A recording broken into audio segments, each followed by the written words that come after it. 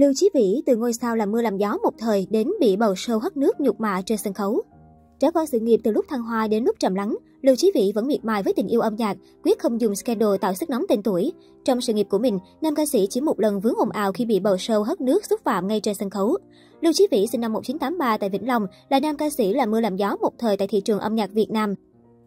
Khi mới bắt đầu hoạt động nghệ thuật, Lưu Chí Vĩ ra mắt với tư cách thành viên nhóm nhạc nam ASN. Thời điểm đó, ASN vô cùng nổi tiếng và sở hữu một lượng fan đông đảo trong khi phải cạnh tranh nhiều nhóm nhạc nam khác như 1088 We Boys. Thành công của ASN phải kể đến phong cách âm nhạc với chủ đề về tình yêu, tình bạn, cùng giai điệu dễ nghe, dễ nhớ. Mặc dù nổi đình nổi đám là thế, nhưng đáng tiếc thay, khi thời kỳ vàng son của ASN chẳng kéo dài được bao lâu, các thành viên trong nhóm chọn cách tách ra hoạt động solo và từ đó ASN cũng bắt đầu tan rã. Trong số các anh chàng của ASN, thì Lưu Chí Vĩ là người có thành tích solo ấn tượng nhất. Sau khi tách nhóm, Lưu Chí Vĩ đã đầu quân cho công ty Thiên Thi. Đây là công ty của cựu thành viên ASN nhất Trung.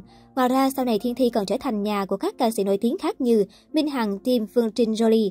Nhờ có chiến lược lăng xe đúng hướng mà tên tuổi của Lưu Chí Vĩ đã nhanh chóng lên như diều gặp gió.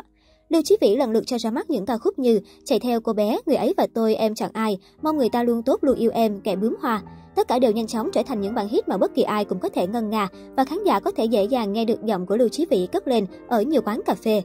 Thừa thắng xông lên, Lưu Chí Vĩ tiếp tục ghi điểm khi bắt tay cùng với Minh Hằng cho ra mắt ca khúc Chia tay cuối và hợp tác với Tim trong cuộc nói chuyện giữa hai người đàn ông.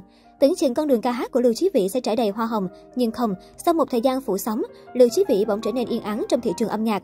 Ánh hào quang dần nhạt đi. Đến năm 2010, Lưu Chí Vĩ quyết định rời công ty Thiên Thi để tìm một hướng đi mới cho riêng mình.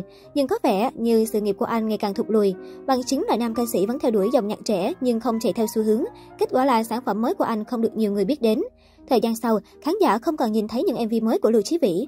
Sau đó mọi người cũng khá bất ngờ khi Lưu Chí Vĩ lấn sân sang dòng nhạc bolero. Mặc dù không còn là mưa làm gió như xưa, nhưng Lưu Chí Vĩ vẫn sở hữu cho mình một lượng fan nhất định ở thể loại âm nhạc mới. Đồng thời, Lưu Chí Vĩ cũng xuất hiện nhiều trên các sân khấu bolero, cũng như ra mắt những sản phẩm chuyên về dòng nhạc trữ tình này.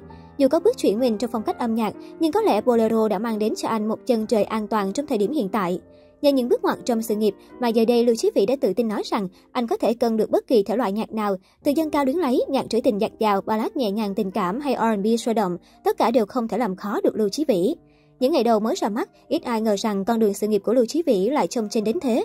Thực chất, nam ca sĩ cũng trải qua không ít khó khăn, gặp những thách thức trong quá trình lập nghiệp. Sau khi hoạt động tự do, Lưu Chí Vĩ phải dành dụm tiền đi diễn để đầu tư vào những sản phẩm mới.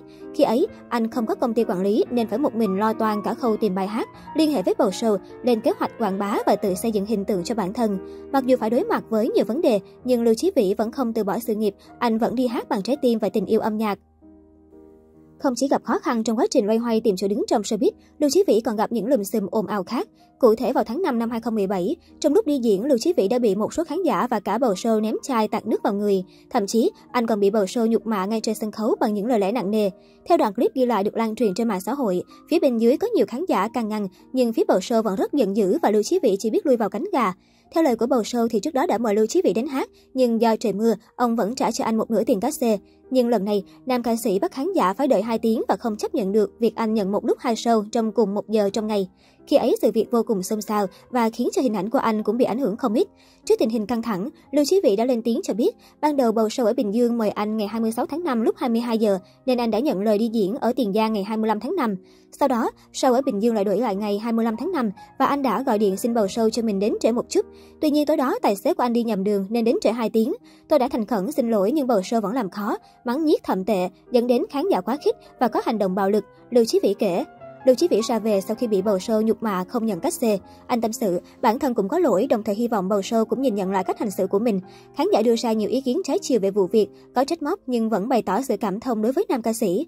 Sau scandal này, ngôi sao gốc Vĩnh Long được mời đến nhiều show diễn sự kiện hơn. Nam ca sĩ Tamit chia sẻ rằng mình chưa bao giờ bị bầu sâu mắng chửi là còn bị tạt nước và suýt bị tác động vật lý trên sân khấu như thế. Trong lúc sự việc xảy ra, Lưu Chí Vĩ chỉ biết đứng im rồi sau đó lên xe ra về. Anh cho biết mình đã không nhận thù lao ngày hôm đó và nhận hết lỗi thuộc về mình. Lưu Chí Vĩ khẳng định anh không dùng scandal để đánh bóng tên tuổi, nhưng vì anh cảm thấy ấm ức nên đã lên tiếng giải thích. Anh mong rằng phía bầu sâu cũng suy nghĩ lại và nhận lỗi sai của mình. Dù thời Hoàng Kim đã qua đi, nhưng Lưu Chí Vĩ vẫn miệt mài với âm nhạc. Anh duy trì ca hát, liên tục ra mắt các sản phẩm chất lượng phục vụ khán giả. Ở tuổi U40, Lưu Chí Vĩ vẫn độc thân, anh tận hưởng cuộc sống yên bình, ít thị phi. Nhìn lại giai đoạn huy hoàng của Lưu Chí Vĩ trong âm nhạc, nhiều khán giả cũng cảm thấy tiếc nuối. Thế nhưng các fan vẫn ủng hộ và gửi nhiều lời chúc đến anh cho cuộc sống êm đềm hiện tại.